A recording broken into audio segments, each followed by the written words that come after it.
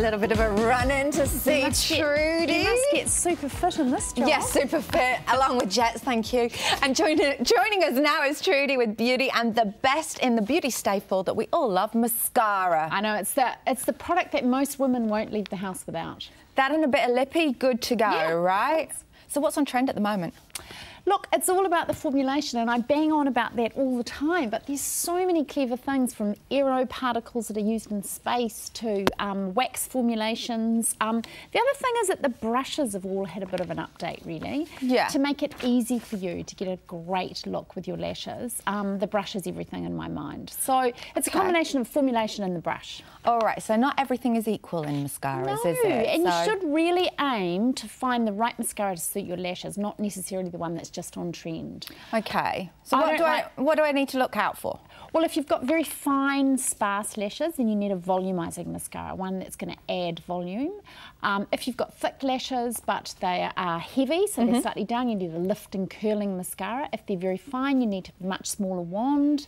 Um, it sort of goes on like that a little bit. And with mascara, I think it's a little bit trial and error. You know, you've got to try new ones. I mean, you shouldn't really keep a mascara for more than 12 months. Really? Um, no, because it is you know, starting to dry out by then, and your eye does harbour a lot of bugs and germs, so you should probably update it. I mean, every six months would be ideal. Yeah, exactly. And, and so you were talking about the right formula, and there's lots of different formulas. And what are these bits of space dust that you're talking oh, that's about? That's in one of them. It's this massive trend at the moment. That sort of everyone's upping their game in mascara stakes, and I guess it's anything that's going to give you that lift and curl and keep it there, because you know none of us have time to touch up our makeup during the day, and actually mascara is probably the one thing that we don't touch up. I mean, we would powder or lipstick. Mm. So the longer it can lift your lashes up and give them some support better.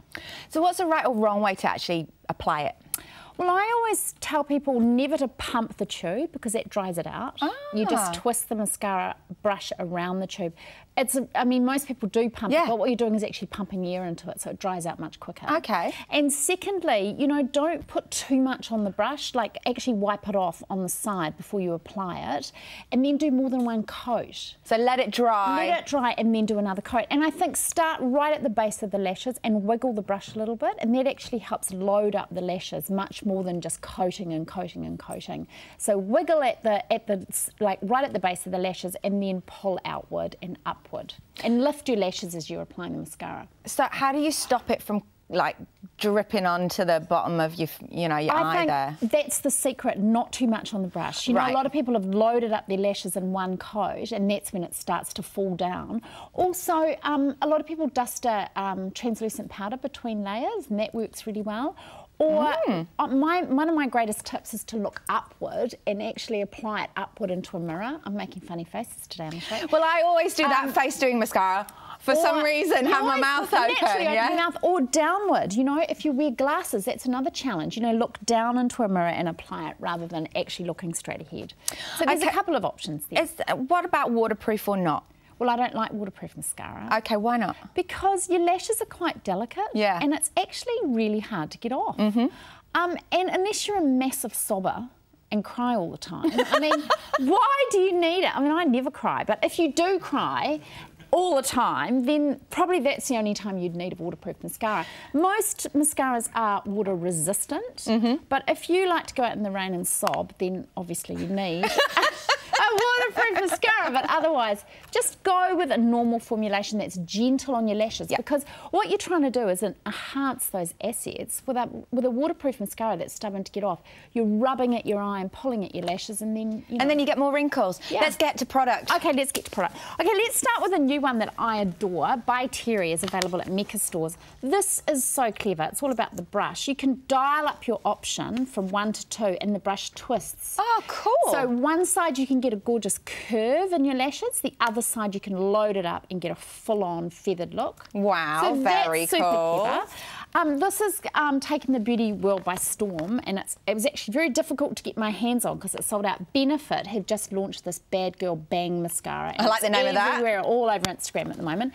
This one contains space technology, aeroparticles that actually lift your lashes and keep them there for hours. Mike's looking at me as if to say, you're telling lies. but it's true. Hey, have you noticed how long guys' lashes are and how short women's are? Yeah, it's like, so he's unfair. got the longest lashes and doesn't need mascara. So, um, getting back to um, Bad Girl Bang, it's full of aero particles that actually lift your lashes, keep them supported for 36 hours.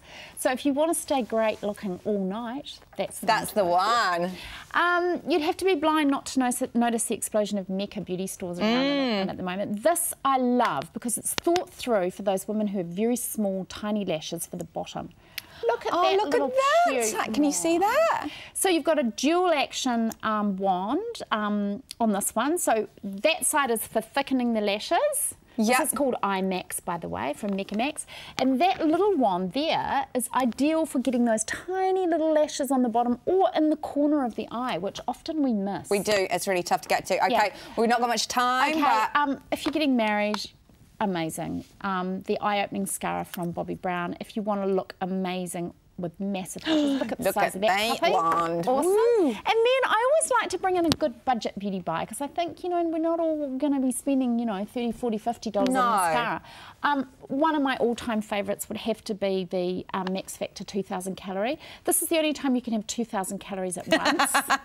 like not it. feel guilty. No. Um, great liquid um, wax emulsion in that, so glossy, long, beautiful lashes, and it's a great price, and you can get it in most stores. And this is another cool brand. Um, it's called the Balm. You might have seen it at Life Pharmacy or Farmers stores, um, and it's called Mad Lash, and it's actually all about getting flexibility into your lashes. So the wand, if you want to pull it out and give it a wiggle, it's a plastic flexible wand. Oh, look at that. So you can actually um, move your lashes around, you know, separate them really easily. Um, it's a great mascara for a great price. Perfect. Thanks so much, Trudi. As always, head to Trudi's website, beautyeq.co.nz for more tips and tricks.